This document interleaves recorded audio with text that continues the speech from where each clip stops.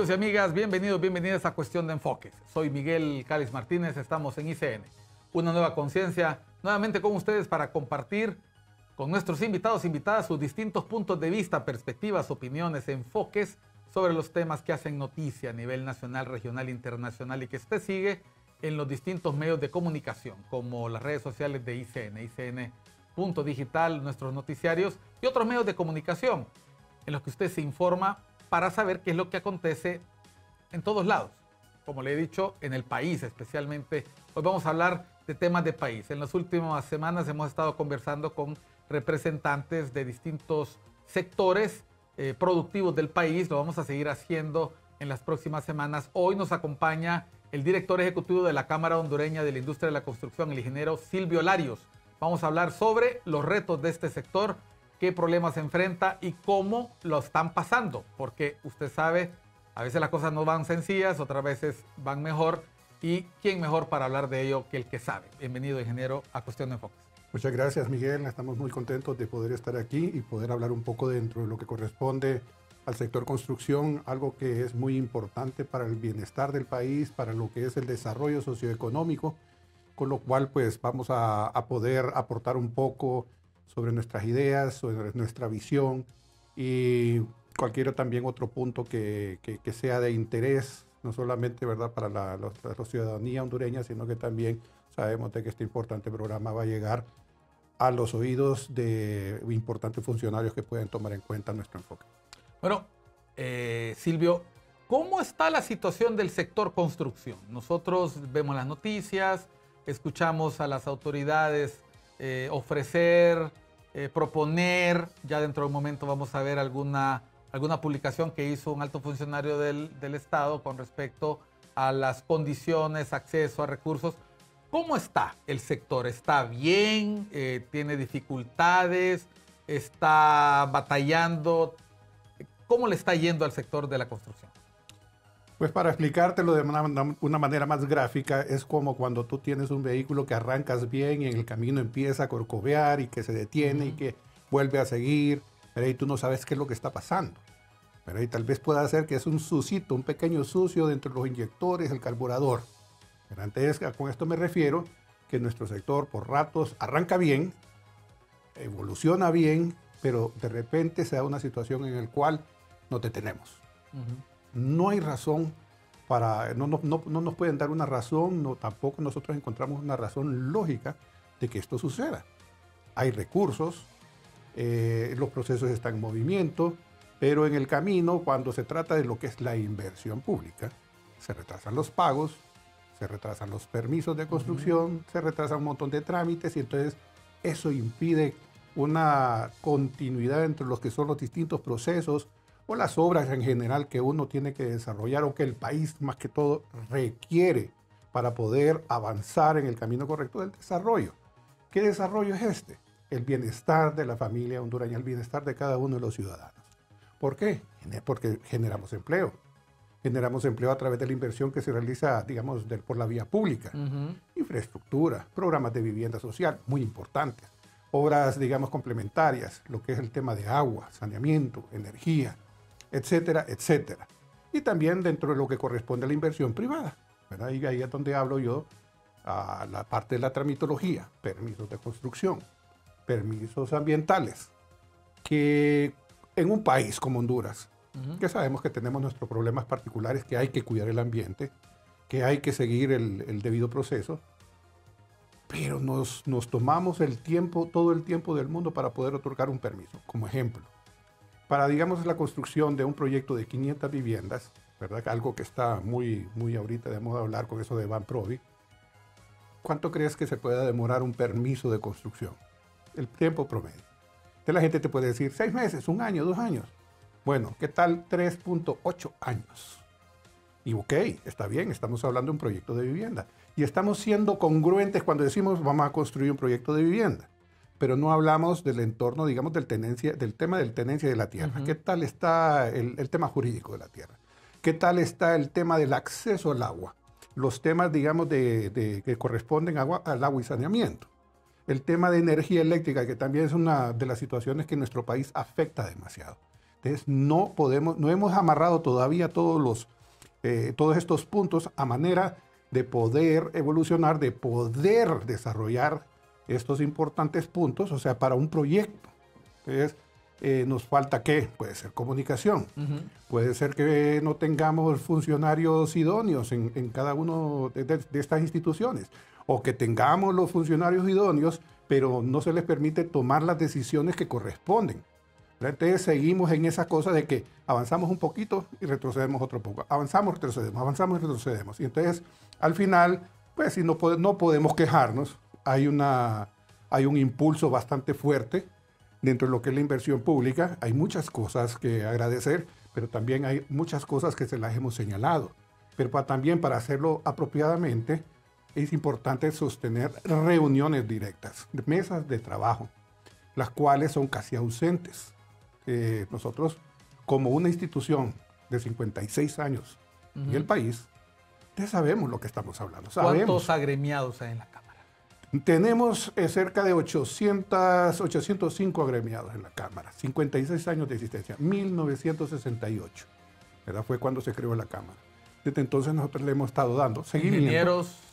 Hay ingenieros, arquitectos, hay empresas, constructoras, tenemos también, eh, correcto, eh, también tenemos lo que son fabricantes o cualquier otro que se dedique a la industria de la construcción o relacionado a la industria de la construcción, porque también tenemos aseguradoras, también tenemos distribuidores y otros servicios muy vinculados a la industria de la construcción. Por eso es Cámara Hondureña de la Industria de la construcción. No es una cámara hondureña de constructores, es industria. Entonces, por eso nuestro abanico es mucho más amplio. Mencionas avanza, retrocede, avanza, retrocede. Esta semana, eh, estos últimos días, llamó mucho la atención un posteo que hizo el secretario de Finanzas Marlon Ochoa, que le voy a pedir a producción que lo muestre en pantalla, donde decía, anunciaba que en el último Consejo de Ministros eh, con la presidente Castro eh, Sarmiento se tomaron importantes decisiones. Escuchen ustedes, sesión de gabinete económico, dirigido por la presidenta Xiomara Castro, el pasado viernes 15 de marzo instruyó a CEFIN, a la Secretaría de Finanzas, que los fondos 2024 de Banprovi se prioricen en vivienda social, incluyendo la compra de vivienda usada. Y ahí menciona algunas condiciones. Cero prima, hasta un millón a tasa del 4%, más vivienda clase media, cero prima, hasta 4 millones, a tasa del 7%, y luego micro y pequeñas empresas, producción agrícola, sectores relegados del acceso al crédito de la banca privada. Priorización de CEFIN asegurará que estos fondos se destinen en estas áreas estratégicas para el desarrollo humano y social y arroba al señor Edwin Araque eh, y bueno, arroba a una empresa de comunicación. Estamos hablando de un anuncio. El Gabinete Económico quiere colocar recursos, quiere colocar recursos al servicio de la industria, de la construcción, de la parte de vivienda. Eh, del dicho al hecho, ¿cuánto faltaría para que esto sea realidad? Es una pregunta que me gustaría la pudiera responder eh, la gente, nuestras autoridades de la Secretaría de Finanzas, porque esto se anunció ya días, ¿verdad? Eh, ¿De qué nos sirve nosotros dar esas buenas noticias y al final como tú lo has dicho, del dicho al, del dicho al hecho hay mucho trecho. ¿Cómo podemos hacer que sea realidad y en, tiempo oportuno? estamos nosotros eh, hablando de que iniciamos enero, no pasó mayor cosa, febrero, igual. Ya marzo se nos fue. Esta la última semana, luego viene Semana Santa y ya estamos en abril. Vamos al inicio del segundo trimestre. Correcto, se nos fueron tres meses. Se habló de un, haciendo un poquito de paréntesis, de un presupuesto en lo que es infraestructura y otro tipo de obras arriba de los 15 mil millones de lempiras. No se había visto eso. Lo aplaudimos con mucha energía, eh, le dimos nuestro agradecimiento, pero obviamente, ¿verdad? Hay que arrancar con todo eso. no es de agarrar y decir aquí tenemos y vamos a hacer y vamos a hacer y vamos a hacer y al final no hicimos nada. Y todo se fue en gastos públicos, todo se fue en salarios, en esto y otro montón de temas que en realidad no desarrollan al país. Tú lo que necesitas es generar ese trabajo, poner ese dinero a trabajar. ¿No han sentido que esté disponible el recurso todavía? Eh, es una de esas condiciones a las que llamas, vamos caminando y de repente se detiene el carro. Ahí es donde vamos, ¿verdad? Porque nosotros, como decir, estamos calentando los motores, todo listo, ¿verdad? Para poder arrancar con todos los diferentes procesos de licitación que tienen, demoran mucho tiempo. dentro de lo que es la planificación, la preparación del proceso, el llamado a licitación, la licitación en sí, y luego arrancar. Demora cualquier cantidad de tiempo. La, ley de contratación de del Estado, ahí está, eh, eh, ella establece los tiempos, pero nosotros nunca, o sea, tradicionalmente, y no estamos hablando de este periodo, estamos hablando en general, históricamente hablando. Nunca podemos arrancar nosotros con las obras en enero. No podemos aprovechar los meses secos. Por eso me referí yo, ¿verdad? Enero, febrero y marzo. Meses secos. Meses secos. Qué interesante, porque estás, Silvio, mencionando un detalle que es súper importante a la hora de construir. Usted sabe que nuestros países tienen temporadas secas y temporadas lluviosas. Eso significa que si tú no planificas apropiadamente el año anterior, entonces pierdes el primer eh, eh, cuatrimestre del año. Luego mayo empiezan las lluvias hasta que llega la canícula. Correcto. Entonces, imagínate que estás con un tablero de ajedrez o cualquier juego, era inclusive de fútbol. Vaya, estamos hablando de, que entender, que todos entendamos, hablamos del fútbol. Nosotros planificamos las jugadas. Hay que planificar para saber a quién, cómo va a ser la jugada para poder eh, marcar el gol. Correcto. Pero, ¿qué es lo que pasa? Dentro de lo que corresponde a la ejecución de nuestros recursos, como que si no existiera. Eh, mira, es que existen esos técnicos, excelentes, formidables técnicos que tienen las instituciones, pero a la hora de la hora es el político el que decide. Y usualmente este tipo de políticos no entienden, pero ni un comino de lo que están haciendo. ¿verdad? Y te lo digo por eso, porque vaya, hemos visto, yo he visto pasar bajo mi, mi dirección como director ejecutivo, he visto pasar ministros, varios ministros, varios directores, y todo es el mismo cuento, de un color o del otro. Y luego estamos viendo ahorita de que hay gente capaz, ¿verdad? Pero vemos como que algo los está deteniendo, que no, no, no, no, no arrancan. Eh, de repente las comunicaciones se van viendo como que llaman cada vez más obstaculizadas, ¿verdad? Y, no entendemos del por qué. Si aquí es cuando más, e, es cuando más tenemos que platicar, sentarnos en esa mesa de trabajo, aportar nuestras ideas, nuestras observaciones en diferentes temas, porque óigame, o sea, un ministro no es como que viene, lo nombran ministro y como que de repente él es el iluminado, el que sabe todo. No. Y muchas veces también hay muchos técnicos que los cambian, pero no hay una memoria institucional dentro de estas mismas instituciones, eh, valga la redundancia, con el cual pues vemos de que las cosas demoran mucho más tiempo. Cambios, perfecto, se hicieron cambios, pero ahí vino gente muy apta, pero igual hay que conocer lo que es este mundo. Cuando yo empecé, digamos, en, varias, eh, en varios temas, ley de contratación del Estado, hay una curva de aprendizaje. No es que inmediatamente uno va a agarrar y aprender a tomar decisiones. Existe el, tomar, el temor de tomar decisiones y que después vengan los entes reguladores, controladores, ¿verdad?, a reclamar. Entendemos eso. Pero, óigame, esta cosa no es, de, no es de esperar el tiempo hasta los santos, lo lloran. Ese es el refrán. Y son cuatro años que se tiene un gobierno. Ya se fueron dos. Estamos avanzando al segundo trimestre del año. ¿Y qué es lo que ha pasado? Estamos perdiendo oportunidades para poder mejorar Honduras. Si tenemos recursos, ¿por qué no los ejecutamos? ¿Cuál es la diferencia entre irlos ejecutando de manera más continua a ejecutarlos a la carrera cuando ya viene mayo, cuando vienen los meses eh, húmedos? Desperdiciamos los meses secos, entonces el uso, el uso de los recursos se vuelve ineficiente. ¿Por qué? Eh, porque obviamente si digamos eh, eh, trabajamos toda la mañana y en la tarde se viene toda la lluvia, mucho de ese trabajo realizado por los tractores, inclusive por albañiles, etcétera, en edificaciones, se te puede deshacer o te tienes que detener. Y ese tiempo perdido, ¿cómo lo vas a compensar? Te requiere una cantidad extra de recursos, un lujo que no nos podemos dar en este país. Nosotros confiamos en las autoridades que están actualmente habría que, ellos tienen que saber, pues obviamente de dónde vienen las instrucciones para decirles que, que no continúen, ¿verdad? Porque nos dicen estamos listos, ¿verdad? Eh, y bueno, entonces, ¿qué pasa que no arrancamos? ¿verdad? Eh, estamos todavía ejecutando ciertas obras del 2023. Eh, hay otros proyectos en los cuales los pagos se retrasan y después lo que saben decir muchos es que las empresas constructoras no son eficientes, que no son buenas, que el trabajo que realizan es malo. Pero ¿en, qué sano juicio puede decirse eso? Si tú sabes que para avanzar, tú tienes que contar con un flujo de capital para poder costear todos tus gastos, todo lo que, toda la inversión que estás haciendo. Y te dice, digamos, algún funcionario, bueno, y entonces, ¿y usted dónde está su capacidad financiera? Bueno, pero es que el contrato no dice financíeme todo el proyecto. No te dan anticipo y usualmente terminas el proyecto y no recibes todavía un poquito de, uno de los pagos de una estimación. Te lo van pagando de manera bien tardía. Entonces no podés agarrar a juzgar a una empresa constructora cuando tú, como contraparte de lo que dice el contrato, no has cumplido. Miren ustedes la perspectiva desde la Cámara Hondureña de la Industria de la Construcción. No se trata solamente de que haya o no haya recursos, también se necesita tener una adecuada planificación para que esos recursos se puedan utilizar cuando más conviene, cuando la situación lo amerita. Y en el caso de Honduras, el factor eh, del clima, el factor del medio ambiente, el factor que rodea la industria de la construcción es clave y a veces se soslaya. Vamos a seguir hablando de los retos de la construcción, de los grandes proyectos que generan pequeños y grandes fuentes de empleo directos e indirectos para usted, para la persona que nos mira acá por ICN, una nueva conciencia. Ya volvemos a Cuestión de Enfoque.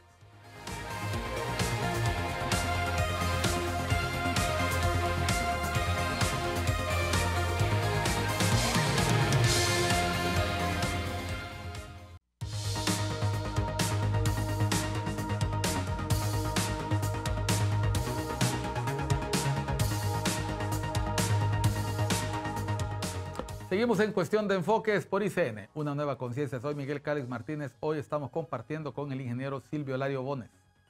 Larios Bones. Él es el director ejecutivo de la Cámara Hondureña de la Industria de la Construcción. Estamos hablando de los retos del sector. Es como un carro que arranca y empieza a corcovear cuando piensan que va a agarrar envión, que va a, a tomar velocidad, empieza a haber problemas, se vuelve a parar el carro, cuesta encenderlo eh, todos esos factores de mercado, eh, me, imagino que se tratan no solo de recursos financieros, se trata también, lo mencionabas, trámites, la toma de decisiones, planificación, eh, mencionabas el factor climático, el medio ambiente es importante, hay que aprovechar ciertas épocas del año. Cuando hablamos de, de las grandes obras o pequeñas obras, más o menos cuántos meses tiene, entre comillas, el sector para poder operar de la forma más eficiente, cuántos, qué meses son y eh, cuáles son los retos que tiene quien quiere construir si se trata de buscar recursos eh, en la banca, recursos eh, por parte del Estado. Se ha hablado en el transcurso o al inicio de este gobierno, se ha hablado de grandes proyectos, represas en la zona norte que resolverían para siempre el problema de las inundaciones y generarían energía. Se habla recientemente de un gran proyecto para la construcción del ferrocarril interoceánico, ese proyecto faraónico y quimérico que siempre hemos tenido los hondureños, ¿verdad? Eh, solo equiparable al teleférico de la ciudad capital. Lo digo porque eh, estamos hablando de proyectos que duran 15, 20, 25 años en un país al que le cuesta planificar un año. Pero hay que arrancar. O sea, tenemos que iniciar. ¿Qué, cuál, ha sido el mayor problema? ¿verdad? De que cuando, digamos, las autoridades se dan cuenta de que este proyecto va a demorar 5, 6, 7 años, ya no les interesa. Es como que lo quieren iniciar y también lo quieren eh, inaugurar. Cortar la cinta. Cortar la cinta. Que a ellos les interesa esa, y si no, a ellos no les interesa de que venga otro de otro partido político o de los mismos de ellos, ¿verdad? Pero que, que no son ellos, ¿verdad? Como que para levantarle su perfil, y no lo hacen. Aquí tenemos que hacer más, digamos, valorar más las necesidades que tenemos en Honduras. Como nación. Como nación. Pero aquí no tenemos que pensar en uno, tenemos que pensar en absolutamente todos. Ser, eh, eh, olvidar todo lo que es el egoísmo. Porque estos proyectos, megaproyectos, no menos de cinco años, cuatro, cinco, seis, inclusive hay otros más, dependiendo de la magnitud. O hay otros que tú los puedes hacer, si estamos hablando de planificar, ¿verdad? De acuerdo a las necesidades, lo vas haciendo en etapas, en fases y lo vas logrando. Pues primero hay que estructurar los créditos, hay que planificar, hay que hacer los estudios de factibilidad, si hay que evacuar gente de las zonas, eh, hay que prever, prever indemnizaciones, prever expropiaciones. Estamos hablando de procesos, como tú dices, hay que arrancar. La Chico, eh, ¿qué, posición ha adoptado frente a esta, a esta dificultad para planificar a futuro? Eh, ¿Cómo interactúa con los actores gubernamentales? Vimos ese, ese posteo del, eh, del, secretario de Estado de Finanzas que habla de colocar recursos para la vivienda social. Entre ese, esa decisión y ese posteo, eh, tú mencionabas que toma mucho tiempo que arranquen las cosas. ¿A qué se debe eso? Vea. ¿Falta voluntad política? Ese es más que todo. O, no conocen, o no saben, o falta de voluntad política. No queremos que, sea lo primero. preferimos pensar de que es falta de la voluntad política, porque solo sería de arrancar. En todos, digamos, los gobiernos ha existido gente muy inteligente, pero algo pasa de que las cosas no dan el siguiente paso. Algo las detiene. Mira, bueno, mega, obras, mucha planificación, mucho proceso incluido. Bueno, una, cuando estábamos hablando una vez de un préstamo de lo que es el BCIE para lo que es el puente que va a unir a Mapala con tierra firme, yo perfectamente haciendo los números dentro de todo lo que corresponde, ¿verdad? a, todos los trámites, etcétera, fácilmente dije 6, 7 años, ¿verdad? O, lógico, para construirlo va a ser mucho tiempo, eh, mucho menos tiempo, ¿verdad? Pero todo lo que está alrededor en sí del proyecto, los trámites, permisos, etcétera, eso es lo que engrosa todo el tiempo del proceso. ¿Que hay que hacerlo? Hay que hacerlo. Pero, ¿por qué tanto tiempo, señores? O sea, revisemos esas leyes. ¿Por qué los trámites son bien repetitivos que hay que hacer aquí, que hay que, ir de un lado, que la misma oficina le está pidiendo... ¿Son engorrosos los trámites? Son demasiado engorrosos. O sea, para nuestro país, eh, eh, que, que, tenemos que dar, digamos, ese paso de acelerar, ser más ágiles, más eficientes en todo sentido. Hay muchas instituciones que sí lo están haciendo, hay que admitirlo. ¿verdad? Pero creo que hay otras que se están quedando y mejor emitamos cuáles son las instituciones, ¿verdad? Cuál, para, para estar evitando resentimientos ahí, pero sí, ellos saben, ¿verdad? Inclusive, pues toda la ciudadanía sabe cuáles son, en las cuales un trámite que te podría durar un día, porque te, te va a demorar un, un, mes, una semana, un mes, un año. Eso es ilógico. Digamos aquí, en el, haciendo un poquito también así el paréntesis, como un permiso de operación. Aquí necesitamos emprendedores, agarrar, apoyar que la gente invierta para que salga y realice actividad y eso genere impuestos para que mejore el país en su captación. El sector informal es sumamente gigante en comparación a lo que es el sector formal.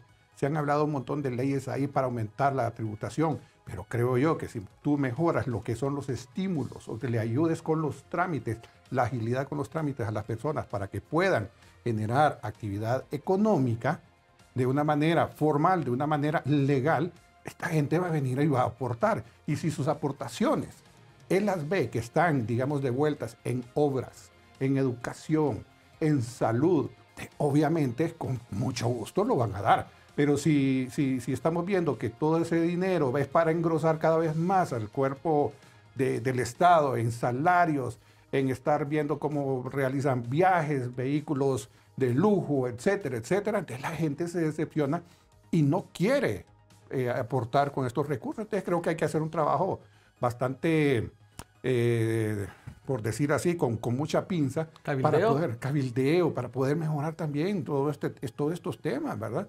Entonces eh, ahí es donde vamos nosotros, que con todos los procesos, ya regresando a lo que es la construcción, ¿verdad? Que estos procesos es fácil de hacerlo. Revisemos esas leyes dejemos de estar perdiendo tiempo que siempre, digamos, estamos eh, creando más y más leyes, haciendo una gran maraña que después ni siquiera las entendemos, ¿verdad? Porque para cuando nosotros estamos analizando un tema, entonces de repente vemos de que el hilito empieza a señalar una ley, de esta ley eh, se, se, va para otra ley, dos, tres artículos, y cuando tú menos acuerdas, hay una gran maraña de leyes que hasta los abogados se complican un poquito para poder entender por dónde hay que ir entonces no digamos... Estás aludiendo a la seguridad jurídica. Correcto. Entonces, ¿por Certeza cuando inicias un trámite de que va a tener eh, un adecuado proceso y va a tener una resolución en el tiempo que se necesita para que la obra salga adelante. Entre más controles, más corrupción. Para mí, para, para, en todos lados, digamos, esa es la percepción. Tú, tú, vas poniendo más controles y más controles, más de lo necesario, entonces tú estás, digamos, a, prácticamente a la a la decisión de determinado funcionario público si te da o no te da el sello, si te da o no te da la firma. un proceso que solo puede demorar unos cuantos segundos, te lo demoran tiempo pues, sumamente extensivo eh, que, no le ayuda a nadie. Pero esa ese es precisamente la trampa que ponen. Como dicen, el que hace la ley hace la trampa. Todos estos procesos, cuando uno los analiza, deberían de ser, ¿qué? 10 mm, eh, pasos Pero porque de 10 pasos, ¿por qué tenemos 70, 80 pasos?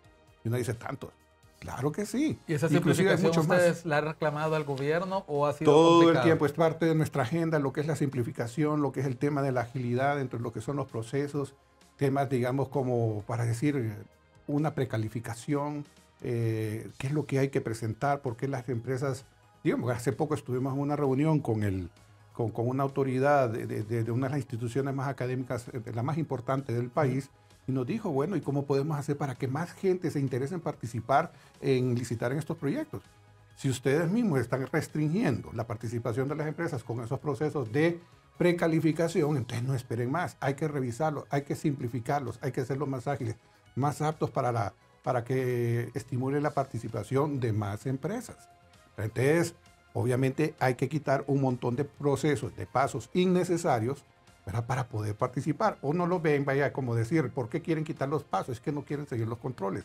No se trata de eso, señores. Nosotros, pues, en primer lugar, somos los que queremos que se promueva la transparencia, queremos que se, pues, respete el debido proceso, pero definamos cuál es el debido proceso.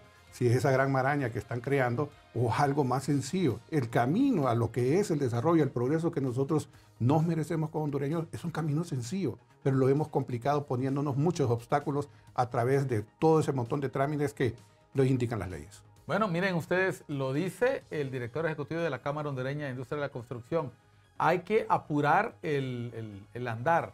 El país tiene que transitar por vías de desarrollo y todavía quedan muchos retos por vencer en cuanto a trámites, en cuanto al acceso a recursos, en cuanto a la colaboración y planificación por parte de las autoridades estatales para poder eh, desarrollar obras no solamente para un periodo de gobierno, sino más allá del periodo de gobierno.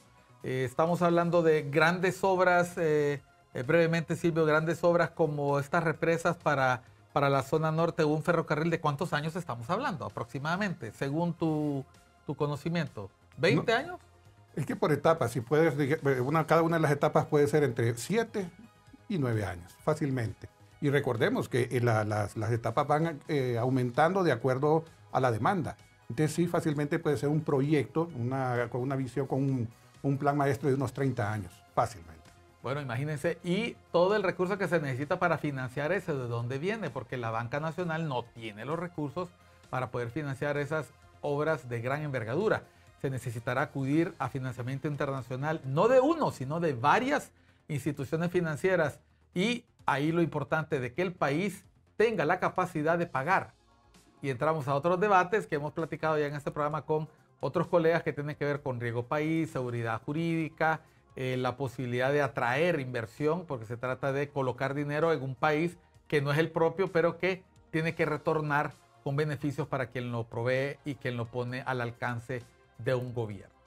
Un gobierno, no, de un país porque finalmente son obras de una dimensión tan grande que no pueden pensarse solo para un periodo de gobierno, sino que tiene que ser para una generación o dos generaciones de hondureñas y hondureñas. Vamos a seguir hablando sobre los retos de la construcción, de vivienda social, vamos a hablar de mano de obra, vamos a hablar de eh, las facilidades o dificultades para acceder a crédito y sin duda alguna con la voz autorizada del ingeniero Silvio Larios Bonet, director ejecutivo de la Cámara Hondureña de la industria de la construcción. Ya volvemos a Cuestión de Enfoques por ICEN, una nueva conciencia.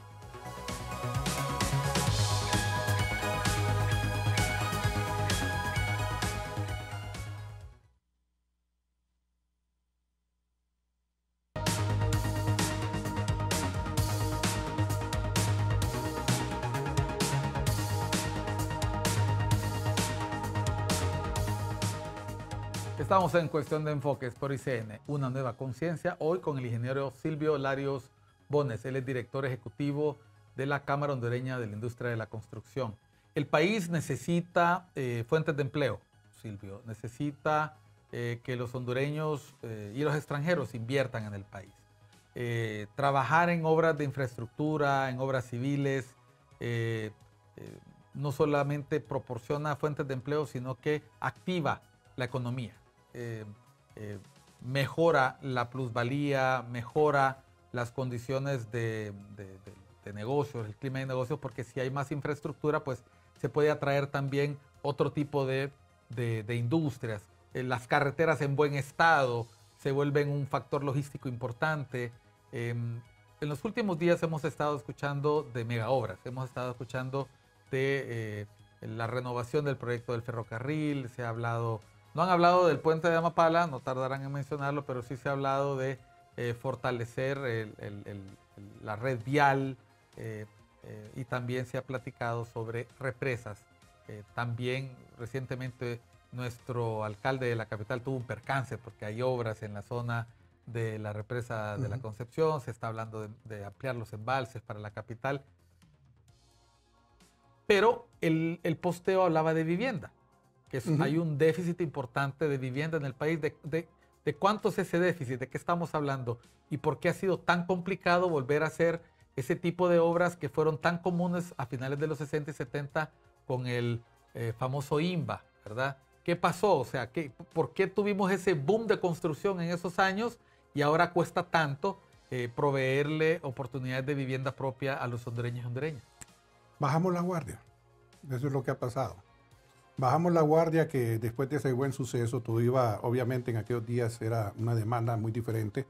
Ahora la población ha crecido de manera exponencial, eh, a pesar de los que se van, ¿verdad? Para buscar oportunidades en otros países. Pero la demanda actual, digamos en términos cuantitativos, es eh, medio millón de viviendas. No importa las que estemos construyendo año con año porque la demanda va creciendo. 45 mil viviendas anuales aproximadamente. Y no podemos llegar ni siquiera a, llegar a ese punto de equilibrio de estar construyendo esas 45 mil viviendas. Llegamos el año pasado a un punto bastante 45 mil viviendas mensuales. Anuales. Anuales. Anuales. anuales llegamos a un punto de construir cerca de 33 mil, 34 mil viviendas el año pasado. Anual. De ser la importancia, ¿verdad? Por eso estaba, eh, habíamos aplaudido nosotros esa, ese interesante programa pues, que puso en marcha Van Provi, porque vimos una luz, como decir, alguien aquí está haciendo las cosas como se deben.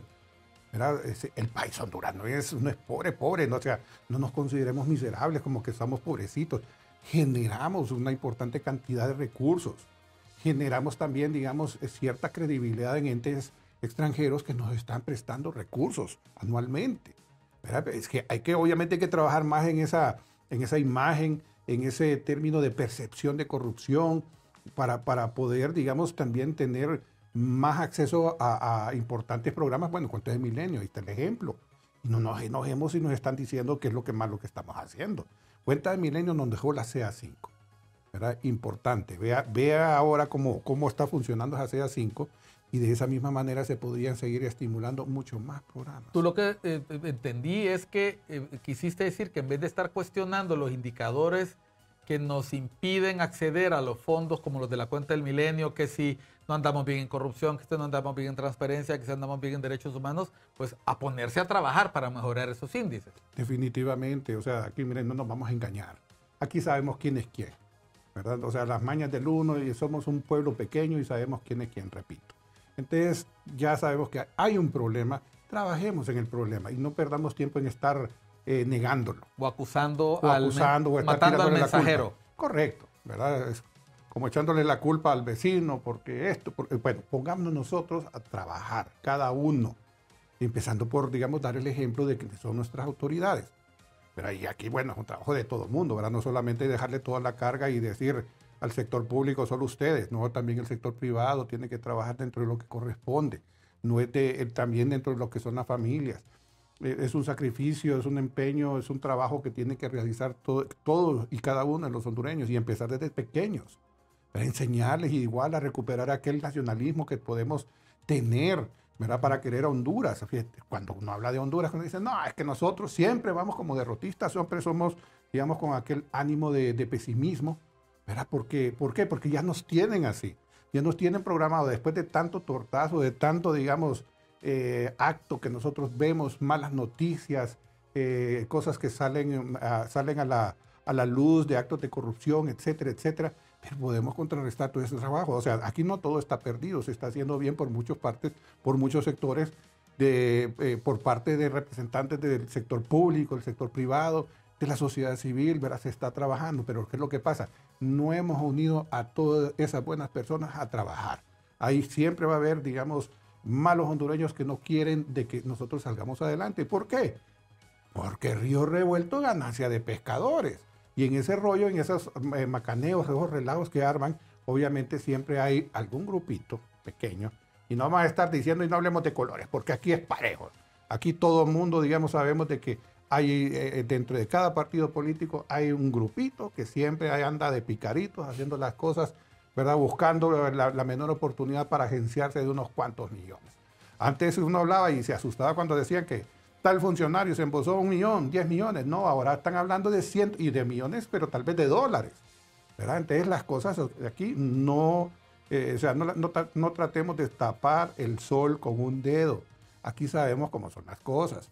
Vemos que lo que sucede, digamos, con el caso de que, la, vienen que tiene que venir la justicia de otros países a señalarnos cuáles son nuestros problemas. Entonces, eh, se trata de un problema muy estructural que tenemos que trabajar para que las, las, cosas definitivamente cambien dentro de nuestro país. Silvio, ¿hay comunicación con el sector gubernamental para colaborar en este esfuerzo? ¿Qué soluciones se están aportando? Porque el, el, el gobierno es sol, no solamente de una alianza o de un partido, es el gobierno de toda la nación, es el gobierno de todos los hondureños y hondureñas. Eh, y se necesita el concurso de distintos sectores. Eh, ¿Cómo está en este momento la relación entre la Cámara? Eh, te repito, hemos visto eh, anuncios de variadas obras, se ha hablado de que este año y el próximo vamos a tener prácticamente en obra todo el país, según lo que entendí. Bueno, aquí tenemos, digamos, varios colegios. Podemos tener Colegio de Ingenieros Civiles de Honduras, Colegio de Economistas, eh, Colegio de, lo que quieras. Ingenieros eh, mecánicos, eléctricos y químicos de Honduras. Estamos la Cámara de la Construcción, Cámara Hondureña de Empresas de la Consultoría, etcétera somos instituciones que hemos estado pendientes de toda la problemática que existe en el país, que ya tenemos también eh, trazado una visión dentro de lo que uh -huh. podría hacerse en el país a manera de empezar a planificar un, un master plan, un plan maestro para empezar a desarrollar el país. Han surgido conatos de lo que es ese plan maestro para poder seguir esa misma ruta. Pero para esto hay que sentarnos, platicar con las autoridades. Desde antes que llegara a ser presidenta la señora Xiomara, le hemos estado solicitando una reunión. Aquí seguimos esperando, señora presidenta. Después de dos años, no se después de, después de dos años. Pero con, pero hemos con intentado, los, pero con los secretarios de Estado. Con ¿sí? todo, mire, con los familiares cercanos también a ella, pero igual, ¿verdad? No sé por cuál es el, la, la, falta de interés en reunirse. Lo digo por, como por parte de Cámara de la Construcción, pero me imagino que es lo mismo, se puede replicar con el resto de las instituciones. Si con el Consejo Hondureño de la Empresa Privada, que pues así hay temas de, de, de, de, conflictos y todas las cuestiones que tradicionalmente se han manejado, creo que son dos veces que se han reunido. Pero, pero nosotros, sector construcción, que no nos metemos a mayores rollos, sino lo que queremos es aportar para desarrollar el país, porque como tú lo dijiste anteriormente, nuestras obras tienen, un, tienen consecuencias positivas. O sea, qué bien cuando un, cuando un político ¿verdad? piensa en realidad en su pueblo, que quiere mejorar su región, y, y proyecta una obra, ¿verdad? Para, para impulsar el sector agropecuario, para la salud, la educación, para lo que son el turismo, ¿verdad? Que se vea que la economía aflore en determinadas zonas. Y, y entonces, ¿qué es lo que primero que hace? Desarrollar la infraestructura. Uh -huh. ¿verdad? O sea, no podemos hablar de turismo si no tenemos agua, si no tenemos saneamiento, si no tenemos electricidad, si no tenemos una carretera adecuada, con los puentes adecuados, con los drenajes adecuados. Entonces, ahí es donde todo, vemos que todo está a todo y absolutamente todo está amarrado para poder desarrollar. Entonces, ahí es donde nosotros vamos, que pudiéramos expresar, platicar nuestro punto de vista, nuestra opinión, nuestra visión entre todos los gremios. ¿verdad? En este caso, pues si hablamos de construcción, sentarnos y decirle, mire, señora presidenta, esto es lo que nosotros estamos viendo, pero cuéntenos, ¿qué tiene usted planificado? ¿Es un secreto? No sabemos y de repente hay que estarle rogando a un ministro o a una autoridad para que nos cuente cuál es lo que, qué es lo que tienen planeado para determinado año. Llamó mucho la atención que estás planteando la necesidad de sentarse a conversar, de hablar, cuando ha sido notorio para muchos que estos últimos dos años han sido años de mucha polarización, tanto en el Congreso Nacional, oposición, gobierno, un reacomodo de todas las fuerzas políticas. Eh, ¿Dónde han encontrado eco ustedes? Hemos visto que el sector privado al inicio del año se atrevió a alzar una, una bandera negra, a izar una bandera negra para mandar un mensaje de que estaba muerto, estaba roto el acercamiento eh, y el acompañamiento del gobierno. Pero ahora, con la elección de una nueva eh, eh, presidenta del COEP, vuelve nuevamente a, extenderse la mano. Vamos, queremos conversar, extendemos la mano. Uno no, no se presenta un puño, se, se presenta una mano abierta. Hasta ahora no hemos escuchado la respuesta. En el sector construcción, ¿han tenido interlocución con personas diferentes a la presidenta, con los ministros de la CID, con los ministros de Finanzas eh, u otras eh, autoridades, FIS, no sé, cualquier otro, o alcaldías? Bien, vamos a platicar con las alcaldías, han sido, digamos, por lo menos con la del Distrito Central, formidable. Con la alcaldía de Distrito Central. Distrito Central, formidable. Está funcionando bien. Muy bien. Eh, pues nuestro alcalde Jorge Aldana eh, a, través de una simple solicitud, sin andar con tanto formalismo ni, y todo protocolo, eh, eh, se reúne con nosotros, platicamos y, digamos si tenemos alguna situación que discutir, él está abierto siempre. Qué bueno. ¿San Pedro Sula? San Pedro Sula todavía ahí seguimos luchando. A pesar de que conozco, ¿verdad? A, a Roberto, que sabemos quién, quién, es él, ¿verdad? De su capacidad, etcétera, pero le falta un poquito, digamos, de, de, de espacio para sentarse a platicar con la gente. Nosotros no llegamos como instituciones o como, como gremios empresariales y, profesionales no a decirle qué hacer, es ayudarle con observaciones, con ideas, tal vez ver, ah, digamos, los ángulos que ha dejado de observar, ¿verdad? Porque tal vez para una persona eh, esta puede ser una buena solución, pero no ha analizado todo el contexto y las cosas se pueden complicar más adelante. Entonces, para evitar ese tipo de dificultades o situaciones que van a obstaculizar un rápido progreso o más eficiente, entonces precisamente ahí es donde consiste ese tipo de reuniones. Repito, no es para estarle diciendo qué hacer, si al final ellos son las autoridades, ellos son los que van a tomar las decisiones y que esperamos que sean en base a un amplio menú de opciones que ellos digan, bueno, esta es la que conviene más por esta y estas razones, que es donde, digamos, una buena planificación te lo puede dar. O sea, tienes que tener claro lo que es el contexto, tiene que haber alguien que te explique como, digamos, si yo fuera presidente, que me explicara y desconozco cuál va a ser el verdadero impacto, los problemas que va a ocasionar determinado proyecto, que en realidad me lo ponga en blanco y negro. Para tomar decisiones. Para tomar decisiones, ¿verdad? Pero no que ponerse a hablar todo complicado. Sí, que si queremos hablar complicado, un doctor te puede hacer la vida imposible. Igual un economista igual un ingeniero civil. y, y parece que te están hablando ni siquiera en ruso, en chino mezclado, te están hablando en extraterrestre, ¿verdad?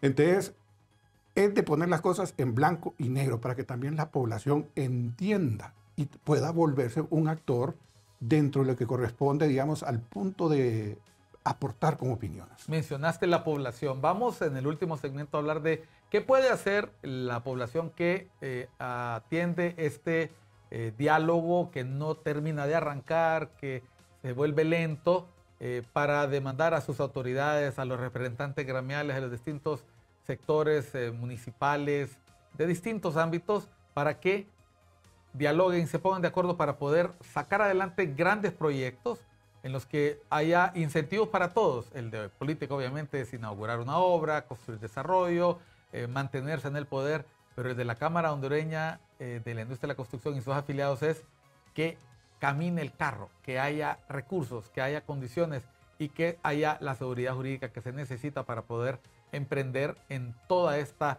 fascinante área de la construcción. Volvemos después de unos mensajes a cuestión de enfoque.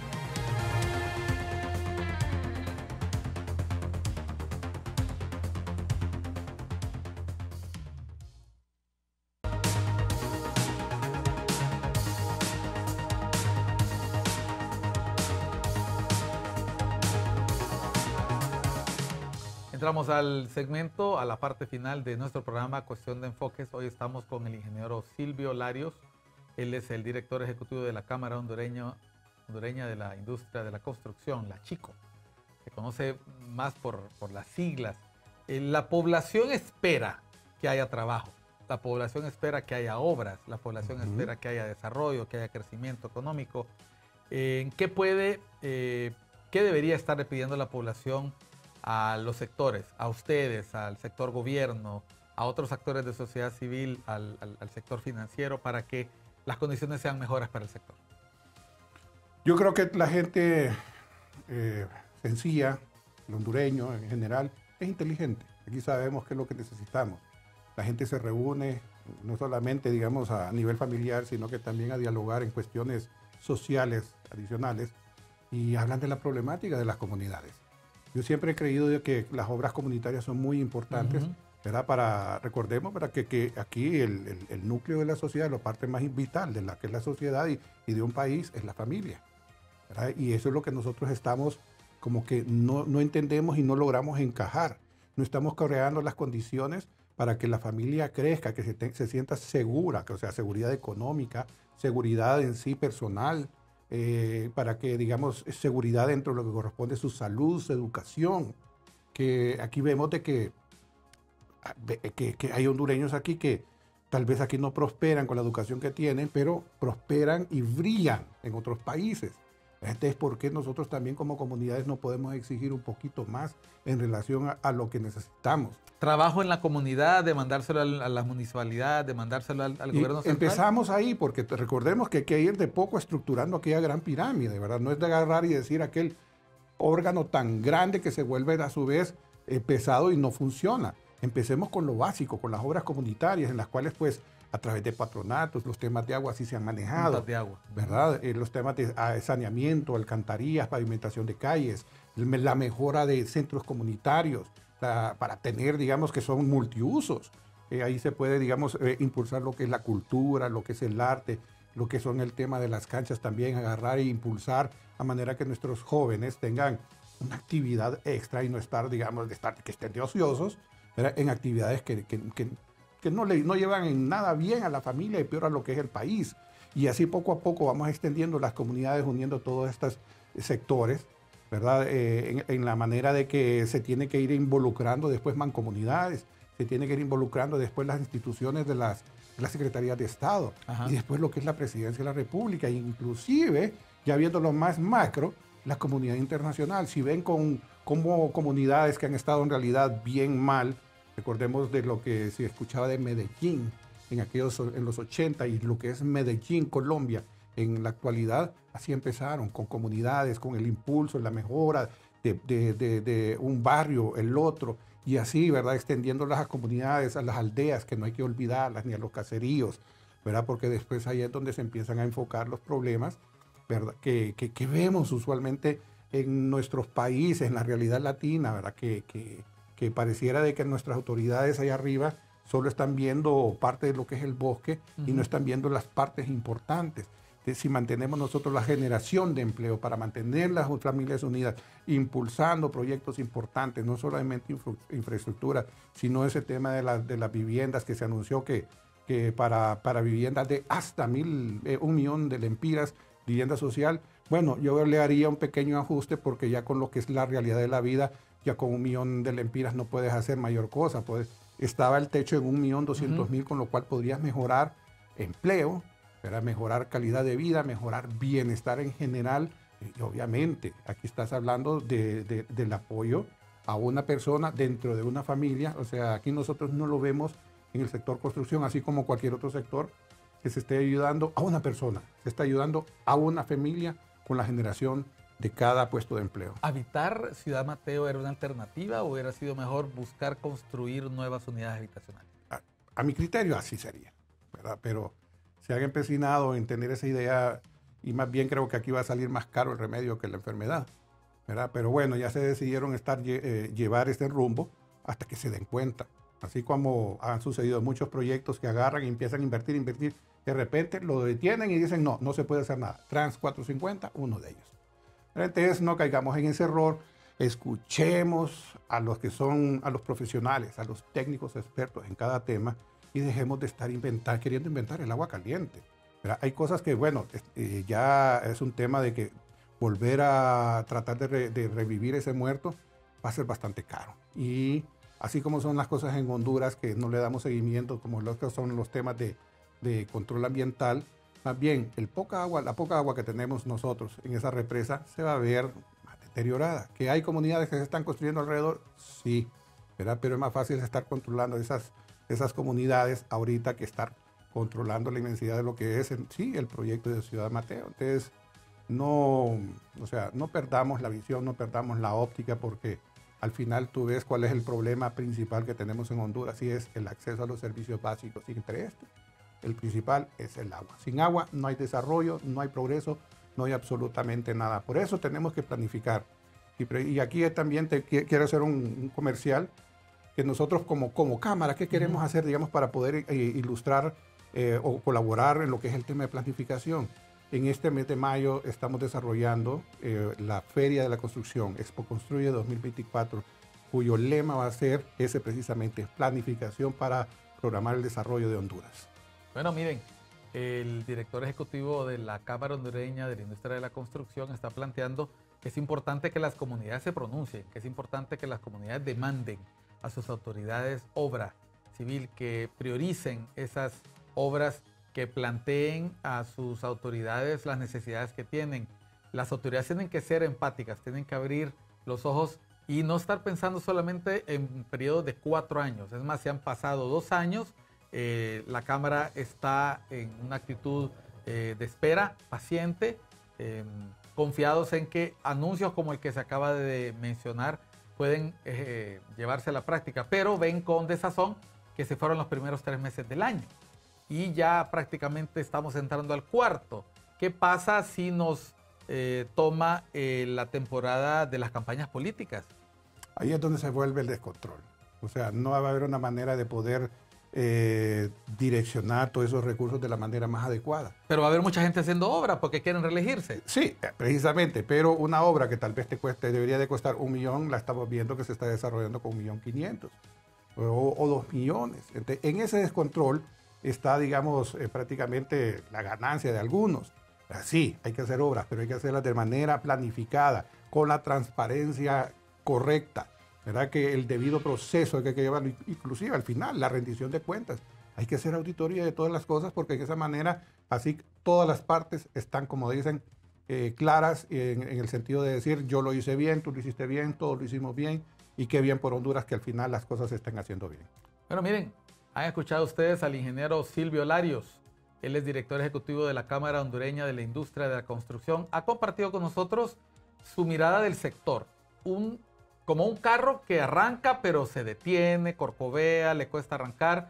No han podido todavía reunirse con eh, la alta dignataria, la presidenta Xiomara Casa. Se han, eh, han tenido encuentros con otros funcionarios, pero todavía no hay un encuentro que permita establecer ese diálogo que se necesita entre sectores. ¿Qué puede usted pedir? Bueno, reclámele a sus autoridades eh, organícese en sus comunidades. Un mensaje final, un minuto, Silvio, para las personas que nos están viendo. El sector construcción eh, se dice que es la industria del bienestar humano. No veamos, digamos, que la industria de la construcción es como para beneficiar una empresa. No, aquí nos vamos a beneficiar todos, absolutamente todos. Una idea bien, planificada puede significar miles y miles de empleo por la prosperidad, por, la, eh, por lo que es el todo el transcurso del tiempo en todos los diferentes sectores. La comunidad lo, requiere, las distintas comunidades lo requieren, el país entero lo requiere. O sea, no solamente es turismo, no es solamente el sector agropecuario, el país entero, en todos sus sectores productivos, requiere de una mejor logística, requiere una mejor inversión pública y en ese sentido está el rol del gobierno y está el rol de los constructores, así como de todos los que apoyan que es la comunidad, cuya, a través de ellos se hace la generación de empleos, muy importante, ¿verdad? Porque todo al final se trata del bienestar de la familia hondureña y esto significa el bienestar del país. Bueno, así sea, que pueda ocurrir tal y como lo plantea el ingeniero Larios Bones. A usted muchas gracias por su atención. Soy Miguel Cali Martínez. Esto fue Cuestión de Enfoques. Vamos a seguir en nuestros próximos programas abordando este y otros temas que son de interés suyo, que hacen titulares, que hacen portadas, y sobre los cuales hay distintos puntos de vista. Nos vemos pronto.